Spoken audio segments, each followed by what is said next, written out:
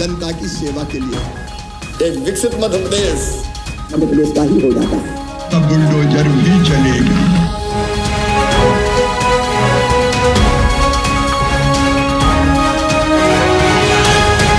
मुख्यमंत्री श्री शिवराज सिंह चौहान ने भोपाल के कुशाभाऊ ठाकरे सभागार में नीति आयोग द्वारा जारी रिपोर्ट पर आयोजित प्रबुद्ध जनों के साथ चर्चा कार्यक्रम में सहभागिता की। नीति आयोग द्वारा जारी राष्ट्रीय बहुआयामी गरीबी सूचकांक पर भोपाल में आयोजित प्रबुद्ध जनों के साथ चर्चा कार्यक्रम में नीति आयोग के सदस्य डॉक्टर वी के सारसत जी ने मुख्यमंत्री श्री शिवराज सिंह चौहान जी को मल्टी डायमेंशन पावर्टी इंडेक्स की रिपोर्ट भेंट की। मुख्यमंत्री श्री शिवराज सिंह चौहान ने अपने संबोधन में कहा कि मध्य प्रदेश में सिंचाई की सुविधा को सात लाख हेक्टेयर से बढ़ाकर सैतालीस लाख हेक्टेयर तक पहुँचा दिया है। इससे अन्न, फल और सब्जियों का उत्पादन कई गुना बढ़ा है। मध्य प्रदेश में सिंचाई सुविधाओं के निरंतर विस्तार से गरीबी कम हुई है।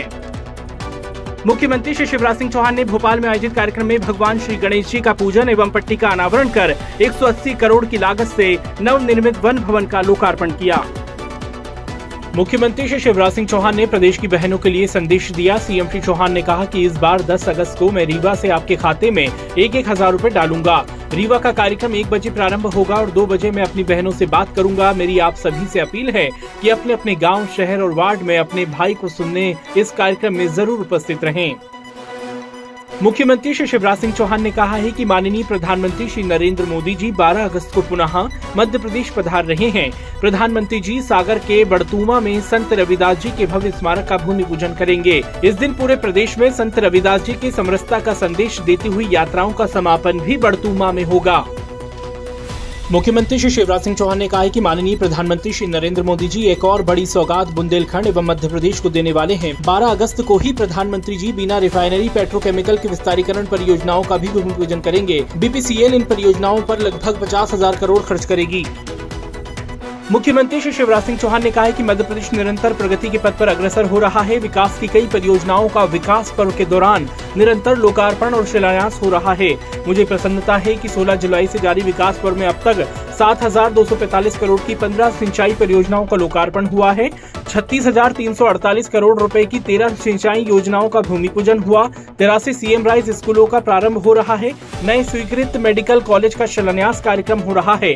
राष्ट्रीय राजमार्ग और सड़क निर्माण के 21,900 करोड़ रुपए के 1207 कार्यों का भूमि पूजन संपन्न हो रहा है। अमृत योजनाओं के तहत शहरी पेयजल परियोजनाओं के लिए 3000 करोड़ की राशि खर्च की जा रही है। जल जीवन मिशन के अंतर्गत अट्ठाईस करोड़ की पेयजल परियोजनाओं के भूमि पूजन जैसे अनेक विकास के कार्य किए जा रहे हैं। मुख्यमंत्री श्री शिवराज सिंह चौहान की उपस्थिति में मुख्यमंत्री निवास कार्यालय सुमत भवन में Prashanti medical service and research foundation और राज्य शासन की ओर से लोक स्वास्थ्य एवं परिवार कल्याण विभाग के मध्य एमओयू किया गया। सीएम श्री चौहान ने कहा कि बच्चों में जन्मजात हृदय विकार का उपचार माता पिता सरलता से करा सके और विशेषज्ञ सेवाएँ उपलब्ध हों। इस उद्देश्य से फाउंडेशन के साथ एमओयू किया गया है। मुख्यमंत्री श्री शिवराज सिंह चौहान से मुख्यमंत्री निवास समत्व भवन में जर्मन कंपनी हैतिच इंडिया के प्रतिनिधियों ने मुलाकात कर मध्य प्रदेश में प्रस्तावित निवेश के संबंध में चर्चा की। मुख्यमंत्री श्री चौहान को हैतिच इंडिया के प्रबंध संचालक श्री आंद्रे अकोल्ट ने पीथमपुर में 700 करोड़ रुपए के निवेश से स्थापित हो रही कंपनी की नई इकाई के संबंध में जानकारी दी। इससे लगभग 500 लोगों के लिए रोज़गार सृजित होंगे।